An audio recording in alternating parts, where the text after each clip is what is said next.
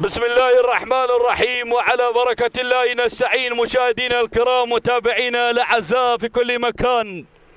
أينما كنتم ما زالت الانطلاقات مستمرة والإثارة تنطلق على حضراتكم مع رابع الأشواط للفية الإبكار واعتباري مع الشوط الثاني للإبكار الفطامين من المسافة إلى 1500 متر.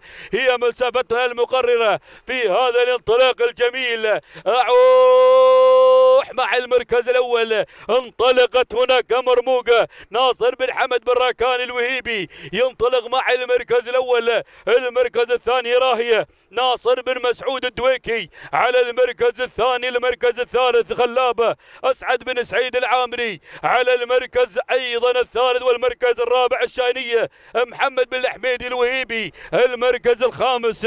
القادم دلما علي بن عبد الله الوهيبي. هذه النتيجة للخمسه المراكز الأولى المنطلقه أعود مع المركز الأول والعود أحمد مع الصداره مع القيادة هذا الشوط انطلقت هناك الشانيه محمد بن الحميدي الوهيبي. ينطلق مع المركز الأول منطلقا في هذا الشوط باحثا عن المركز الأول بهذا التحدي. الجميل والتحدي المثير. المركز الثاني القدوم من رايه ناصر بن مسعود الدويكي. على المركز الثاني المركز الثالث القدوم من الاسماء المشاركة بشعار براكان المتقدم على المركز الثالث. لكن أروح مع الصدارة. أعود مع المركز الأول. انطلقت هناك مع الصدارة هذا الشوط التنافس الثنائي من أجل الناموس والانتصار. راهية يا راهية. ناصر بن مسعود الدويكي ينطلق بقيادة راهية مع أحد أشواط الإبكار. مع المركز الأول تهانينا والناموس